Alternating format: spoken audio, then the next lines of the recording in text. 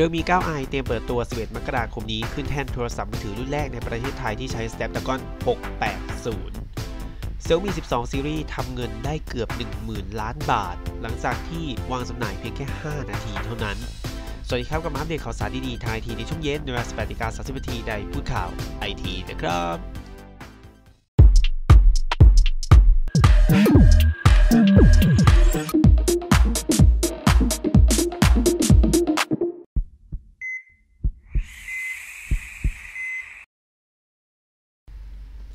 realme ประเทศไทยประกาศเตรียมเปิดตัวเรียวมี 9i ในวันที่ 11 มกราคม ที่จะถึงนี้ในเวลา 18นาฬิกาหรือ 6 โมงเย็น ชูจุดเด่นเป็นรุ่นแรกเลยนะครับ ของประเทศไทยที่มาพร้อมกับชิปเซต Snapdragon 680 ที่ผลิตบนเทคโนโลยี 6 นาโนเมตร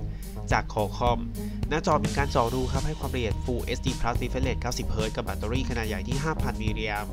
การชาร์จเร็ว 33 วัตต์ realme 9i จะมาพร้อมกับชิปเซต Qualcomm Snapdragon 680 4G ตัวนี้เนี่ยทำความเร็วได้ค่อนข้างดีเลยทีเดียวนะครับ ประสิทธิภาพของรุ่นนี้เนี่ยเร็วกว่ารุ่นก่อนหน้านี้ที่เป็น Realme 8i อยู่ 46%ครับ แล้วก็กินไฟน้อยลงถึง 62%เลยทีเดียว ก่อนหน้านี้นะครับ Realme 9i ได้มีการเปิดขึ้นมาบน Geeksment นะครับในรหัสโมเดล RX 3491 โดยทำสเปคนะครับของรุ่นนี้ออกมาเป็นหน้าจอ LCD 6.6 นิ้วความละเอียดหน้าจอ Full HD Plus Refresh Rate 90 Hz กล้องหลัง 3 ตัวเลนส์หลัก 50 ล้านพิกเซล Ultra Wide 8 Macro 2 นะครับ ขณะที่กล้องหน้าให้ความละเอียด 16 ล้านพิกเซล โดยเซนเซอร์สแกนลายนิ้วมืออยู่ที่บริเวณด้านข้างของตัวเครื่องครับเรื่อมี 9i เตรียมมาพร้อมกับแบตเตอรี่ 5,000 มิลลิแอมและการชาร์จที่เร็ว 33 วัตต์ อัปเดต จากตัว Realme 8i รุ่นก่อนหน้านี้ที่รองรับการชาร์จเอาไว้นะครับเพียงแค่ 18 วัตต์เท่านั้นส่วนระบบ Android ให้มาเป็น Android 11 ครับ ครอบทับด้วย Realme UI 2.0 ด้วย Realme 9i จะเปิดตัวอย่างเป็นทางการในประเทศไทยในวันที่ 11 มกราคมเวลา 18นาฬิกาในรูปแบบออนไลน์ผ่านทาง Official ในอินเดียนะครับ โดยจะมี Facebook แล้วก็ YouTube โดยภายในงานเนี่ยจะมีการแจก Realme 9i ให้กับผู้โชคดีที่ชมไลฟ์ในครั้งนั้นด้วยนะครับสำหรับใครสนใจนะครับ ก็เดี๋ยวรอเปิดตัวราคาออกมาแล้วและวางขายแล้วเดี๋ยวเดี๋ยวเขาจะมาอัปเดตให้ทราบกันอีกครั้งหนึ่งนะครับเกี่ยวกับ Realme 9i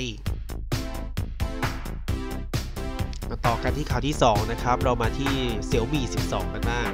Xiaomi เริ่มมาจำหน่ายสมาร์ทโฟน Xiaomi 12 Series ในประเทศจีนในวันที่ 31 ธันวาคมนะครับ ผ่านไปไม่นานนะเวลานิดเดียวเองเท่านั้นนะครับ สมาร์ทโฟน Xiaomi 12 ก็ทำรายได้ค่อนข้างเยอะแล้วนะครับ บริษัทเนี่ยแจ้งว่าทำรายได้ไปถึง 1.8 พันล้านหยวนหรือประมาณ 9.4 พันล้านบาท หลังจากที่วางขายเพียงแค่ 5 นาทีแรกเท่านั้นครับตัวเลขดังกล่าวนะครับถือว่าเป็นยอดรวมขายทั้งในรูปแบบออนไลน์และออฟไลน์ ช่วยยืนยันได้ว่า Xiaomi 12 ขายดีกว่ารุ่นก่อนหน้านี้เมื่อเทียบกับ Xiaomi 11 Series ที่สร้างยอดขายเพียงแค่ 1.5 พันล้านหยวนหรือประมาณ 7.8 พันล้านบาท ในช่วง 5 นาทีแรกนะครับทั้งนี้ Xiaomi 12 Series มีทั้งหมด 3 รุ่นครับ ได้แก่ Xiaomi 12 Xiaomi 12 Pro และทั้งคู่เดี๋ยวรองรับระบบชิปเซตตัวใหม่นะครับ ก็คือ Snapdragon 8 Gen 1 แล้วก็รุ่นน้องอีกหนึ่งรุ่นก็คือ Xiaomi 12X ที่ใช้ชิปเซตเป็น Snapdragon 870 ครับ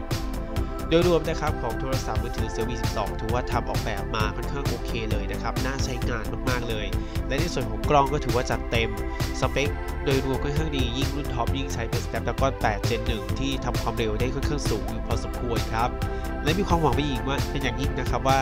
ทาง Xiaomi เนี่ยจะเอา Xiaomi 12 Series เข้ามาวางขายในประเทศไทยด้วย คิดว่าแฟนๆชาวไทยก็คงลุ้นแล้วก็อยากให้เอาเข้ามาขายด้วยเช่นเดียวกันครับใครรอมือถือรุ่นนี้อยู่เมนต์บอกใต้คลิปนี้หน่อยนะ และทั้งวันนี้นะครับก็คือข่าวสารไอทีทั้งหมดที่มาอัปเดตกันในช่วงเย็นวันนี้นะครับก็จากกันไปนั้นอย่าลืมกดไลค์เพื่อเป็นกำลังใจให้กัน กด subscribe ที่ตามข่าวสารดีๆในวีดีและวิดีโอต่อไปสำหรับ Facebook Fanpage แล้วผมทิ้งลิงก์ไว้ใต้คลิปนี้ เข้าไปกดไลค์กันได้นะสำหรับคลิปนี้ขอตัวลาไปก่อนแล้วก็บับเดตข่าวสารดีๆแบบนี้ได้บ่ายในคลิปหน้าสวัสดีครับบ๊ายบาย